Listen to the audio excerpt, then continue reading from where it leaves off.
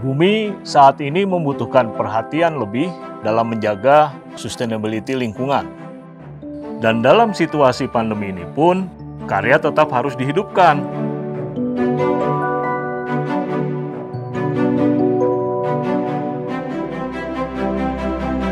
Karya fashion dan kriamu juga harus berkualitas dan ramah lingkungan.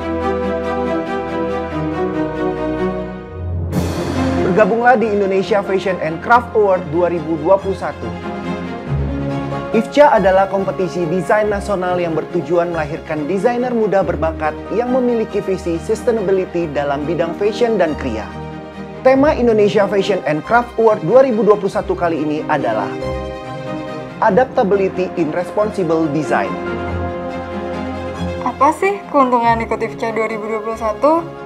Biaya pembuatan prototipe, akses ke perajin lokal, akses pasar dan material branding, dan jadi mitra dari Dirjen Hikmah Kementerian Perindustrian.